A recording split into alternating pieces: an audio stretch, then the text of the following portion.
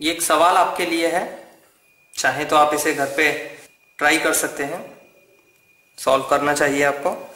A first twenty letters written in the reverse order अगर हम पहले ट्वेंटी लेटर्स को रिवर्स कर देते हैं, किसके? अल्फाबेटिकल सीरीज़ के।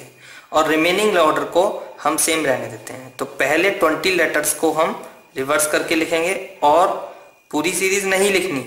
जैसे हमने सवाल पीछे किए, उसी तरीके से आपको शॉर्ट में ए टू टी क्योंकि टी आपका ट्वेंटी लेटर होता है। वहाँ तक लिखेंगे, उसको रिवर्स कर देंगे। बाकी टी के बाद जो भी लेटर्स है, उनको सेम लिखा रहने देंगे। इसके बाद आप फॉर्मूला लगाएँगे seventh letter from the left and nineteenth letter from the left इसका लगाएँगे फॉर्मूला उसके हिसाब से कैलकुलेट करेंगे। लेफ़्ट या राइट साइड जो भी निकलेगा, उसके हिसाब से आप आंसर निकालेंगे। आपका आंसर आएगा आई